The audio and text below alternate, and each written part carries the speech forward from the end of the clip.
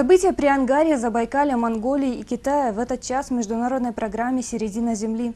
В студии Арина Власова. Здравствуйте. Сегодня в центре внимания. В Иркутске открылся многофункциональный детский сад. Какому району города повезло?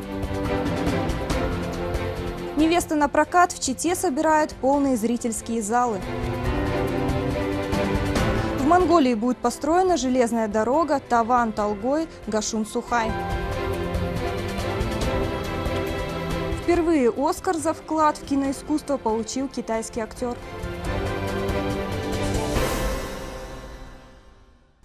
Первых воспитанников принял новый иркутский многофункциональный детский сад номер 74 в микрорайоне «Союз». В дошкольном учреждении 11 групп, в том числе ясельных. Всего детский сад рассчитан на 350 детей. На открытии побывала наша съемочная группа.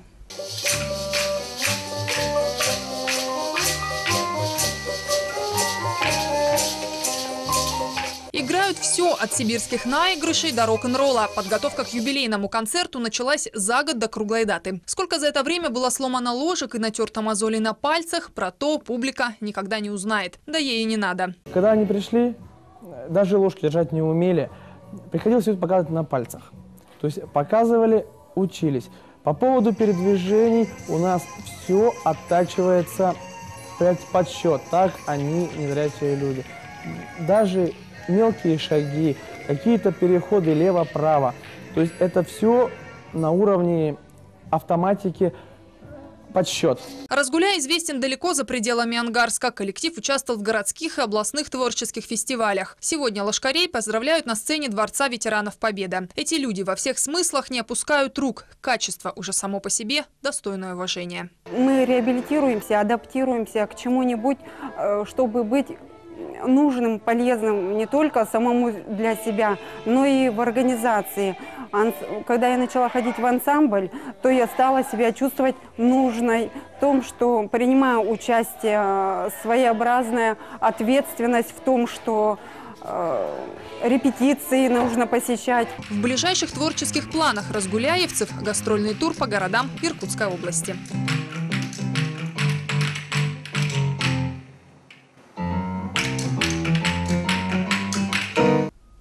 Не опустили рук ансамблю лошкарей Ангарского отделения Всероссийского общества слепых исполнилось пять лет. Свой день рождения коллектив отметил выступлением на сцене Дворца спорта ветеранов с говорящим названием «Победа». О людях, которые не сдаются, а поэтому побеждают, наш следующий сюжет. Полуторагодовалая Алиса Тверских первый день в детском саду. Пока только осваивается, а вот ее сестра трехлетняя Марта чувствует себя вполне раскованно. Она уже раньше в детсад ходила, только далеко от дома. Теперь же в микрорайоне «Союз» появилось свое собственное дошкольное учреждение. Никуда не нужно ездить, что особенно приятно с наступлением зимних холодов. Впечатления хорошие. Есть мелкие недочеты, но это все устранимо. Она ходила в 220 садик, потом мы перевелись в 110 садик, а теперь мы в садике «Союз». А неудобно было туда раньше ходить? Было далековато.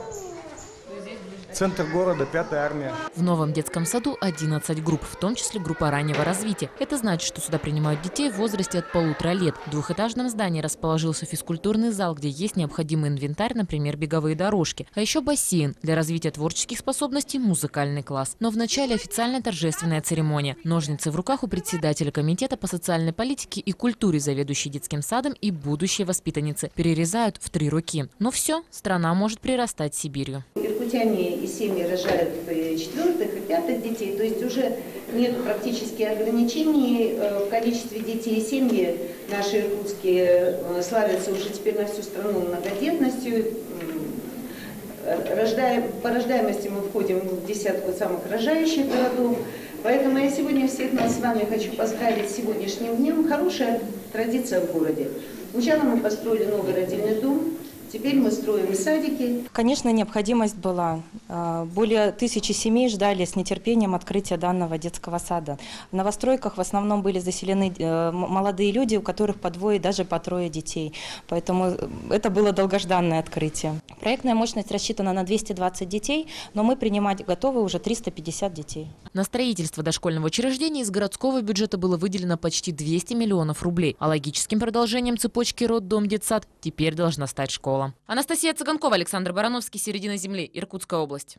Это были новости Иркутской области. Прямо сейчас эфир «Середины земли» продолжит Забайкальский край. Чита, здравствуйте. СМИ пишут, что у вас пять лет назад случился почтовый казус. Горожанин отправил письмо в Москву, но ответа так и не получил. Юлия, каков итог? Адресат нашелся? Арина, здравствуйте. Сотрудники Почты России вернули жителю Читы письмо, отправленное в Москву в феврале 2011 года. Пять лет потребовалось, чтобы выяснить, что адресат выбыл с указанного места жительства. Отмечается, что это не первый случай, когда письма доходят с опозданием. И к другим новостям профильных комитетах Законодательного собрания края состоялось предварительное согласование кандидатов на должности членов правительства Забайкальского края. Подробности в нашем сюжете. Шесть кандидатов на должности заместителей председателя правительства края посетили шесть профильных комитетов законодательного собрания, где поделились собственным видением развития региона и ответили на вопросы депутатов. Задача вообще какая стоит? По сути дела, что сказал нам правительство э, Российской Федерации? Сказал, заработайте денег сами, если сможете, на наше обращение. Вот ровно этим будем заниматься. То есть задача, в принципе, выйти на бездотационный уровень, чтобы регион стал самодостаточным. Добиться этого, по мнению Александра Кулакова, возможно посредством развития горнорудной промышленности, энергетики, укрепления отношений с соседним Китаем. Дмитрий Кочергин подчеркнул, что необходимо более системно выстроить работу с муниципалитетами, чтобы приоритеты глав районов и поселений совпадали с приоритетами региональной власти. А именно на первом месте в непростой экономической ситуации должны стоять заработная плата, социальные обязательства и коммунальные платежи. Внутренняя политика – это не только проведение форумов, это взаимодействие с общественными организациями, с политическими партиями, просто с гражданами. Это оценка там социального самочувствия населения и так далее. То есть это огромный пласт работы, который так или иначе влияет на формирование политики губернатора. А Игма Ванчикова курирует в целом социальные вопросы. Жизнеспособность всей этой сферы требует финансовых затрат. Несмотря на экономически стесненные условия, в этом году было открыто 8 детских садов, 2 ФАПа. Ресурс для развития кандидат в вице-премьеры видит привлечение, например, некоммерческих организаций. Намерены подойти, наверное, к вопросу реализации предоставления государственных услуг, через развитие институтов гражданского общества, через содействие общества и государства. При их только взаимодействии мы можем получить какой-то ресурс, наверное. А, я имею в виду предоставление тех государственных услуг, которые гарантированы государством. Также процедуру предварительного согласования на должности заместителей председателя правительства края сегодня прошли Бато Даржиев, руководитель администрации Агинского Бурятского округа, Марина Кириллова, министр финансов и Сергей Новиченко, руководитель Минэкономразвития края. Окончательное утверждение всех претендентов состоится 16 ноября на пленарном заседании Краевого парламента.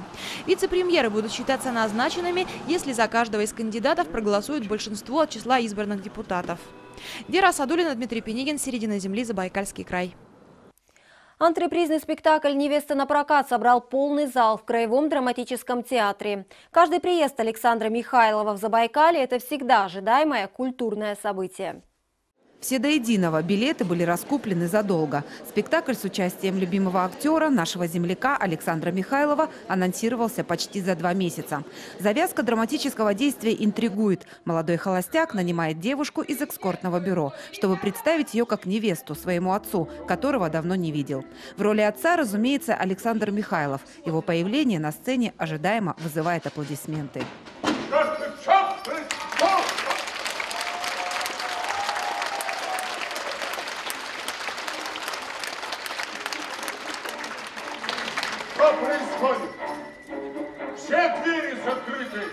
Это четвертая режиссерская театральная постановка известной актрисы Татьяны Догилевой. И с самого начала роль супруги персонажа Александра Михайлова на сцене воплощала Елена Проклова. Однако в Читу она приехать не смогла. Об этом накануне актер рассказал в интервью нашей коллеге Ларисе Комиссаровой. Должна Лена Проклова, ну там у нее какие-то проблемы, она улетела давно в Эмираты.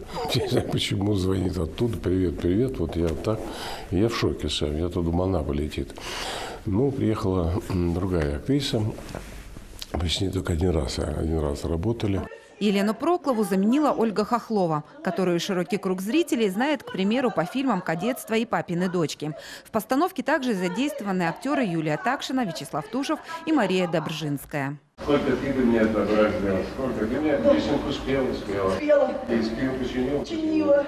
Пирожное кто купил? Я ногу била Да, почти. да. Вот, знаете что? Я хочу что для вас я сделаю вот все, что вы не скажете. Вот прямо сейчас скажете, я прям все сделаю. Сразу прям. Давайте. Подари мне внука. Обсудим. Ходе двухчасового действия на сцене разворачивается история, понятная зрителю и притягивающая внимание. Проблемы отцов и детей, одиночество, любовь и ненависть заключены в контекст ироничной комедии.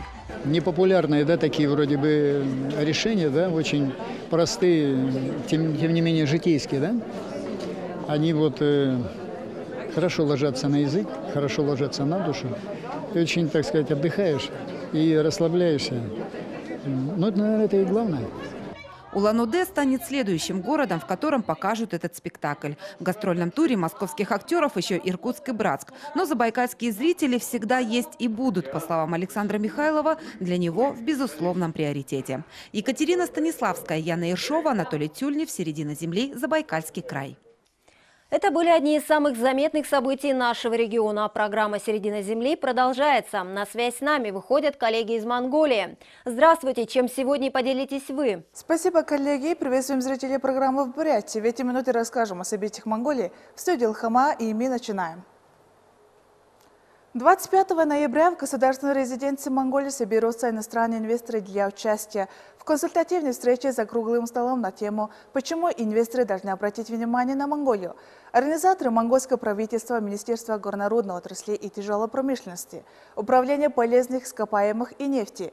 Во встрече примут участие более 40 представителей из правительства страны, международных банков и финансовых организаций, крупнейших горнорудных компаний, а также лидеры бизнес-кругов.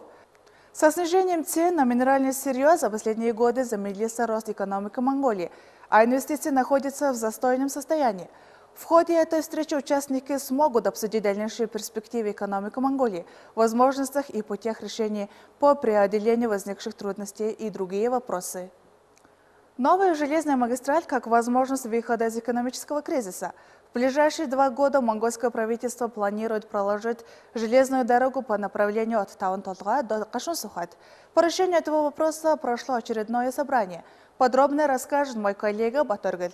Дорога по направлению Таван-Талгой Гашун-Сухайт очень узкая. За один день по ней проезжает около тысячи автотранспортных средств. Порой очередь из машин доходит до 30 километров. По словам жителя Аймака, если от Таван-Талгой до Гашун-Сухайт будет проложена железная дорога, то нагрузка на автомагистраль значительно снизится, а также сократится число автомобильных аварий. Во-первых, с повышением спроса на уголь возникают вопросы с его транспортировкой. По какой дороге доставят топливо в нужный пункт? Во-вторых, существует проблема с пропускной способностью. Эти вопросы надо урегулировать в ближайшее время. Единственная возможность преодолеть такие препятствия – построить железную дорогу. Этот вопрос на уровне правительства обсуждался несколько лет, но в итоге ни к чему не пришли. По словам министра развития дорог и транспорта, строительство новой железной дорожной магистрали затянулось из-за недоговоренности с китайской стороной. Монголии необходимо от них получить соответствующее разрешение. Далее решать вопрос финансирования данного проекта. В ближайшее время мы хотим сделать повторные попытки и связаться с китайской стороной. Если мы быстро определим связные пункты, то работы по строительству железнодорожного полотна ускорятся. Примерный срок исполнения – два года. Официальные лица Монголии не раз утверждали, что если на должном уровне развивать инфраструктуру страны, то тогда и ее экономика будет развиваться. Строительство новой железной дороги по направлению Таван-Талгой-Гашун-Сухайт станет отличной возможностью выхода из экономического кризиса. Батаргил, Батболт, середина земли, Монголия. Это все, о чем мы хотели рассказать вам сегодня. Далее к международному выпуску программы «Середина Земли» присоединяются наши коллеги с Китая. Дадзе Хао, о каких событиях вы расскажете? Дадзе Хао. Здравствуйте. Конечно, о самых заметных и интересных событиях, связанных с Китаем. В студии Руслан Гасанова. Подготовка качественных кадров для программы сделана в Китае 2025. Это главный вопрос повестки Азиатского форума по образованию в Чинду. Приоритетными направлениями программы, напомню, считаются инновации, развитие собственных брендов и экологически чистых производств, реструктуризация экономики. Реализовывать проекты будут выпускники вузов, где наряду с теорией было много практических занятий. Обсудить необходимость реорганизации среднего профессионального образования в Китай съехали специалисты из 30 стран и регионов Азии. Их мнение выслушал наш корреспондент. Этот профессиональный колледж – один из крупнейших в Ченду. 19 факультетов обучают самым необходимым для развития промышленности страны профессиям более 20 тысяч студентов. За годы работы учебное заведение наладило тесные контакты со многими компаниями, которые ориентированы на рынок и заинтересованы в образованных кадрах. Мы подписали много соглашений о сотрудничестве с разными компаниями, но лишь некоторые из них готовы предоставить студентам возможность стажировки на производстве. Существует еще много сложностей в эффективном участии компаний в профессиональном образовании. Связь профессионально-технического образования с экономикой обсуждали на этой неделе специалисты, которые приехали на Азиатский форум по образованию в Ченду как модернизировать систему, как удовлетворить растущие потребности экономики в грамотных кадрах, обучение которых будет неразрывно связано с производством. Образовательная система должна быстро реагировать, ориентируясь на состояние соответствующего сектора рынка рабочей силы. Ведь там покупается не рабочий как таковой, а его квалификация. Многие профессионально-технические заведения Китая просто скопировали программу высшего образования. Основы педагогики, а также некоторые курсы являются совершенно идентичными. Это главная причина, почему профессиональное образование до сих пор оторвано от конкретных знаний и навыков, необходимых для работы на производствах. Необходимо соединение учебного и производственного процессов ведения учебно-производственный. Эксперты сошлись во мнении, что хороший пример для подражания подает Германия, где успешно применяется модель так называемого двойного образования. Она сочетает в себе классические теоретические уроки и практику. Это эмпирическое обучение, то есть процесс получения навыков и знаний через практический опыт и поможет преодолеть разрыв между школой и реальной жизнью. Одна из ключевых характеристик любой системы профессионального образования – востребованность выпускников на рынке труда. Чем больше получено навыков, тем выше занятость и успешнее карьера. Это означает, что должны быть очень тесные отношения учебных заведений с бизнесом и промышленной сферой, причем на всех уровнях. И чем больше эффективную систему вы создадите, тем больше людей захотят ей воспользоваться. Я думаю, что для создания эффективной системы профессионального образования в Китае необходимо разработать закон, требующий участия компаний в образовательной деятельности. Это и будет то, что называется системой двойного образования в Германии. Мы должны перенять этот опыт. Если школы будут решать проблему в одиночку, то процесс может очень затянуться. В настоящее время 20 тысяч профтехучилищ по всей стране готовят около 40 миллионов молодых специалистов, которые могут в значительной степени способствовать росту экономической мощи Китая. Процесс пойдет быстрее, если одним из главных приоритетов станет качественная подготовка специалистов. Ведь в рыночной экономике образование – это предмет купли-продажи. Татьяна Климова, CCTV. Китайский актер Джеки Чан получил почетный Оскар за выдающийся вклад в кинематограф. Он стал первым китайцем, удостоенным этой чести. На церемонии вручения почетной премии Американской киноакадемии он заявил, что, несмотря на продолжительную карьеру в кинематографе, он не рассчитывал получить эту престижную награду. За 50-летнюю кинокарьеру 62-летний Джеки Чан снялся более чем в 200 фильмах. Он не только актер, но и режиссер, продюсер, сценарист и певец. Актер известен своим акробатическим боевым стилем и комедийным даром. По данным журнала Forbes, Чан занимает второе место в рейтинге самых высокооплачиваемых актеров в мире. Наряду с Джеки Чаном почетные Оскары получили американский режиссер-документалист Фредерик Уайсман, американский кастинг-директор Лин Сталмастер, а также британская женщина-монтажер Энни Коутс. О других событиях мы расскажем в следующих выпусках. До встречи!